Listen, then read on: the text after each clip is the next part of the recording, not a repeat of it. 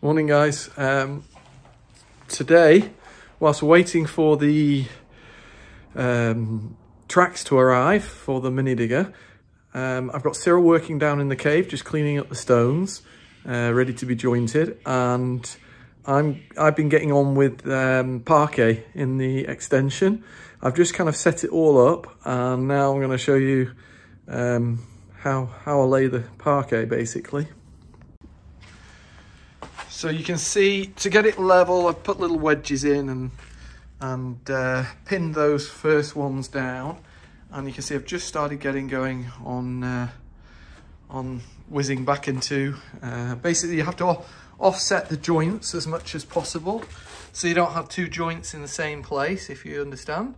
And um, yeah, it's it's been a bit awkward at the start because this machine here normally has this plastic um, this plastic bit here sticking quite a bit out at the back. But because we've been riding next to the wall, it's uh, it's been a bit difficult. So it was a bit slow and a bit tedious. But now I think I'm going to do a little bit of showing you how it's done and then do a bit of a time lapse.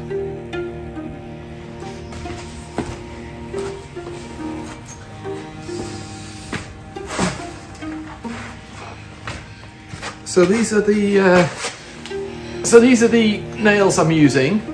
Um, they're kind of, uh, um, I can't think of the word, like kind of serrated to, to keep the wood um, in place once you've whacked the nail in. I mean, normally you'd have used a round like nail that's not conic or anything. This one is, uh, like I say, it keeps it well in once it's been hammered in. So pop that in there. And this spring keeps the nail up at the front so um, I can uh, I can keep going without having to push the nails in.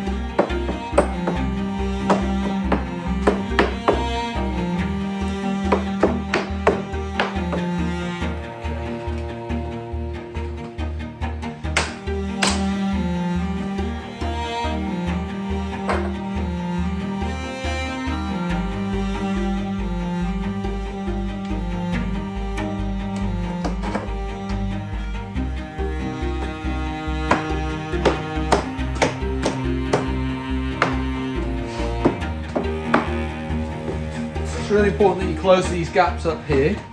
And, uh, and then you're gentle when you hammer the wood, because if you're not gentle when you hammer the wood, uh, it'll, it'll break the tong. So, that's the system. I'm going to do a, a time lapse now.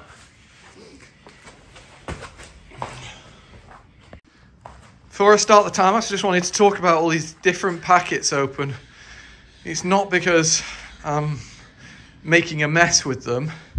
I'm doing this on purpose so I can I can have all different lengths of parquet going down. and also, when they're delivered, you have all these different lengths. So of course you want to mix them in. Sometimes uh, to get the lines, the joints away from each other, you need a different size, size of parquet as well. So if I'm really struggling, I end up using a 30, which is a foot. But generally we're about a metre, um, a yard, uh, sort of 75. They're stamped on on the, on the, on the back side of the uh, parquet. It's really good parquet. It's actually Châtaignier, uh, which is chestnut. So pretty much, um, pretty much the same as oak. Um, you lay them this way around so you can see the thicker piece before the tong is up top and the thinner piece underneath. And of course the stamps underneath too. Um, but it's actually finished which makes it so much easier. So basically once it's laid first thing we do is give a quick clean.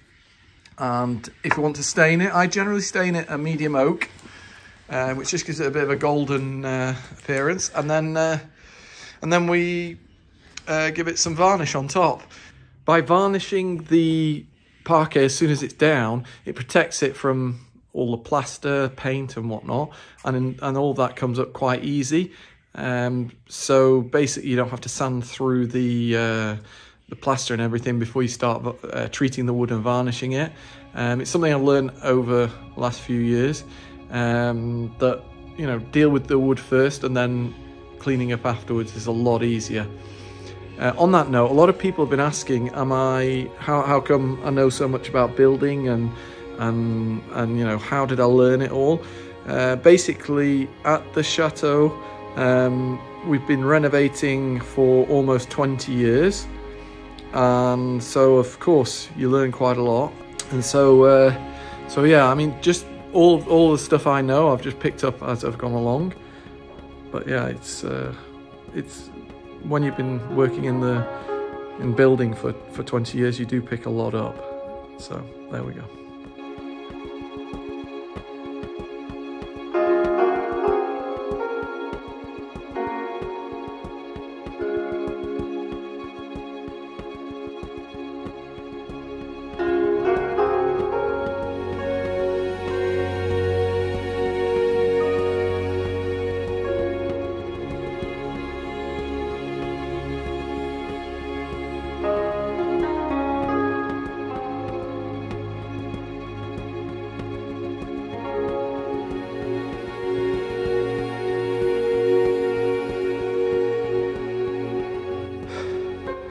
Keeps you warm this. Um, I've stopped there just for a couple of reasons. Um, I want to talk about why I've left gaps at the side and also uh, the piece I'm on now is quite interesting. So, you can see I've left quite big gaps there. Um, bit lazy of me, but at the end of the day, you need expansion, uh, space. So you can see normally would be something like that. That's the kind of limit because it's only got a few mil but in summer the wood can work. I don't, I'm not too bothered about this hole here because we're putting already the insulation on the wall and then we've got the rail for the plasterboard which is probably going to be about here. So you're not going to see that hole.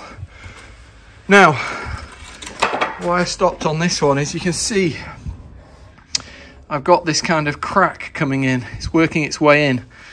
And how I get around that is I get a nice long piece and kind of nail it back with that one. So I'm going to wait a second, pop it on the stand, uh, pop the camera on the stand, and you'll see what it looks like after. So of course, same technique, just whacking. Whacking in. Type up at this end. So first of all, I'm going to nail it in there. And then here, as I whack this, we're going to get as much of this crack out as possible. I've just realised I've got two joints that are fairly close together, but the, the choice of having a big crack or having a smaller crack is more important than the two joints, uh, joints being fairly close. I mean, they're, they're about an inch apart, so it's not as if they're lined up completely.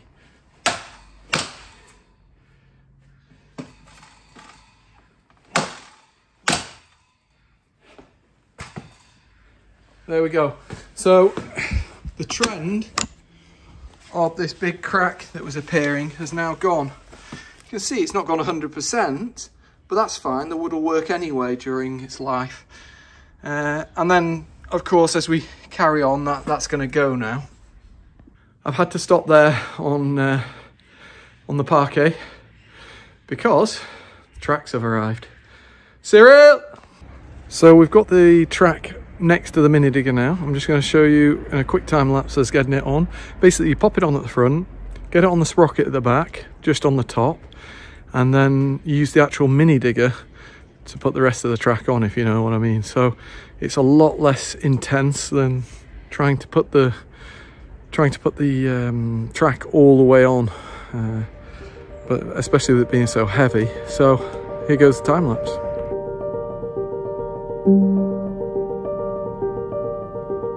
So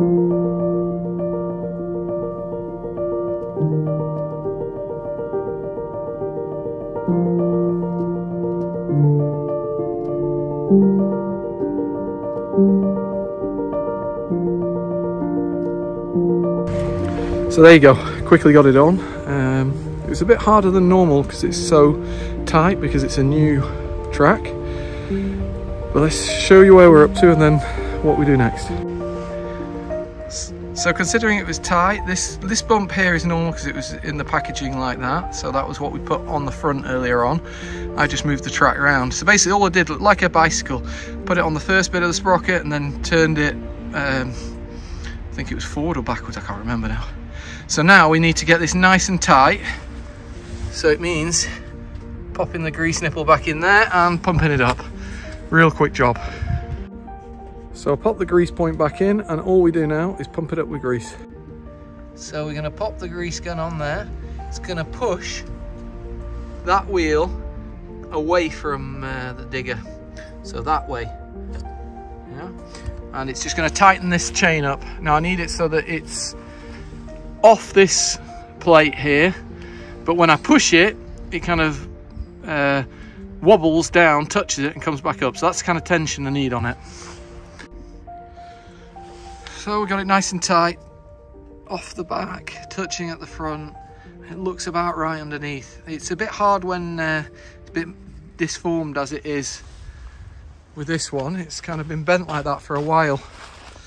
So uh, we're going to change the other one and then I can get on using the mini digger. After a little bit of uh, heavy lifting, the tracks are on. So let's see what it looks like. There we go.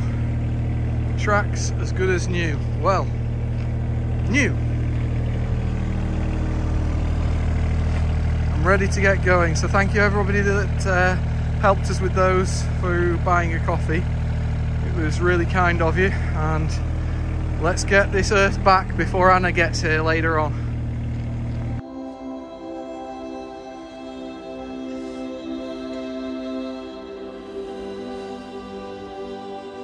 Just arrived in Vienna with my little boo-boo. She's having a little snack. We're gonna go and check what Daddy has been up to. Aren't we, Emma? Yeah. Oh, I can hear Daddy. So just arrived in Vienna and guess what? Ed is obviously on the digger. Working with these new tracks that I can't wait to see.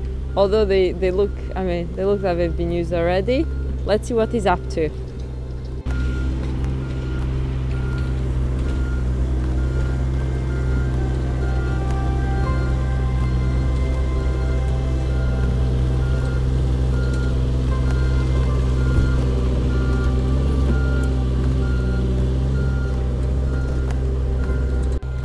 Mount Ed is looking beautiful over there. I haven't been here for I was I would say a good week.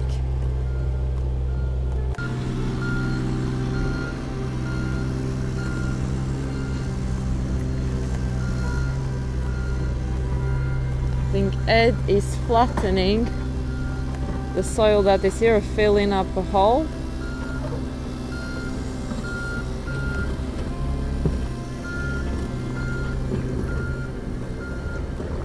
But what I want, what I really want to go and see is what he's been up to inside, because it's been ages. Let's go and have a look at that.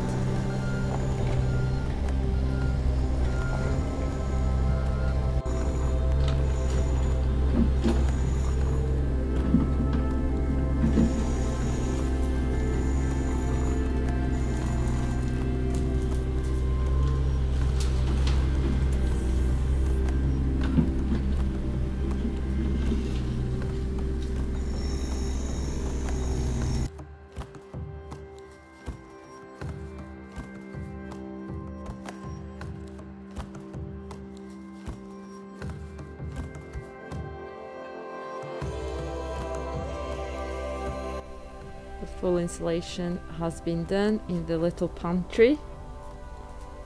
And then Ed has started with the parquet. How fun is this? It is definitely getting on. I can hear him outside on the digger. His favorite toy, we'll say. There is one thing that Ed absolutely loves along with this digger, it's the floor.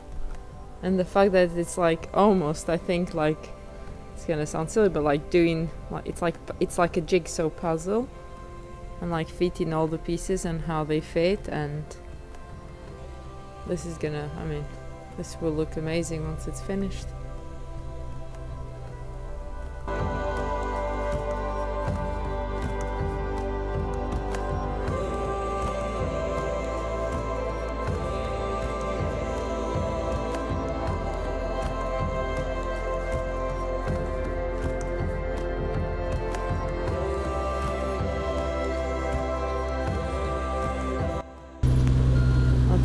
Five minutes I was having a look around inside that things and it's pretty much flattened all this area here. I'm gonna go and have a look at how we're doing at the pool because it's looking completely dry to me.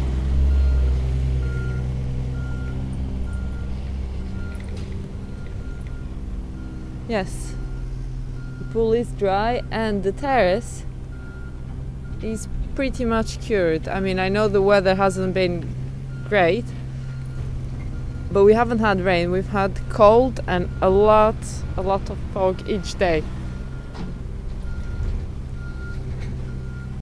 With Ed started the parquet, there is something good and positive. That parquet has been in the summer kitchen all this time, just like filling up the room.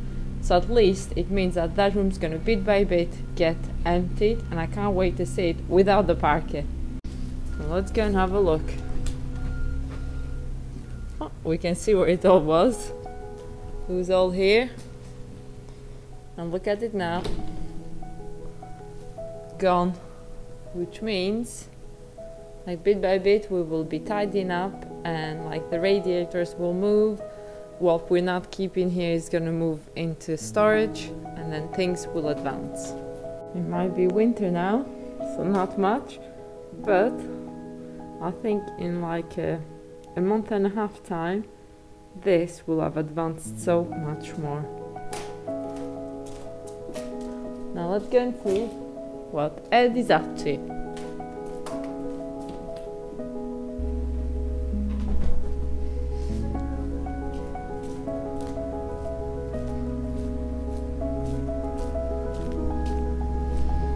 same there with Cyril.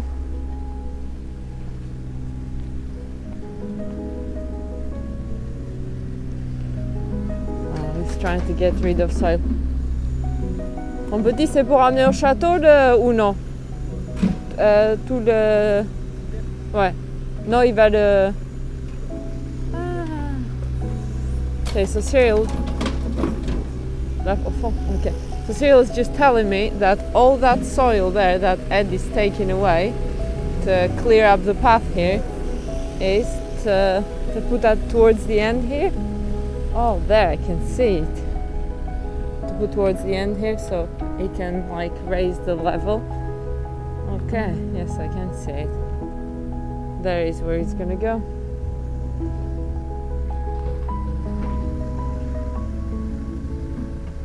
Maybe a cold winter's day, but work is carrying on.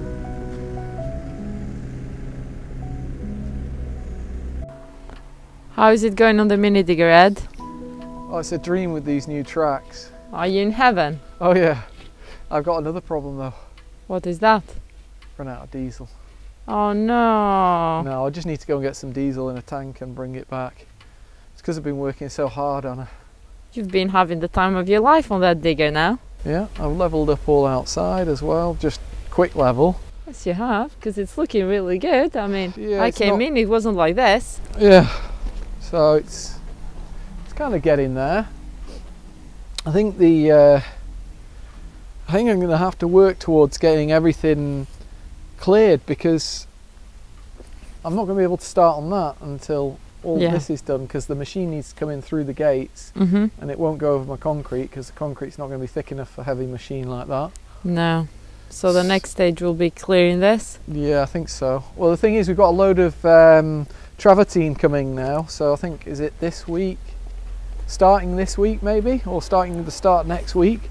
I've got 23 pallets to bring in and put on, on the concrete over there. hmm So, yeah, um, I've got that to do as well outside. So, Yeah, I can hear Cyril in the cave, yeah, but I won't go and check on him because I bet it's all dusty and it thing. is dusty, um, but he's getting there now. So, Oh, that's good. um, we're going to be pouring concrete down there soon. oh.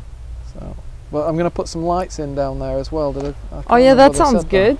I, So yeah, about seven or eight lights down there, up lights onto the stone. well, that's going to look really good. Mm. Can be a nice little area for obviously storing wine, but then Yeah, have a little table down there and chairs.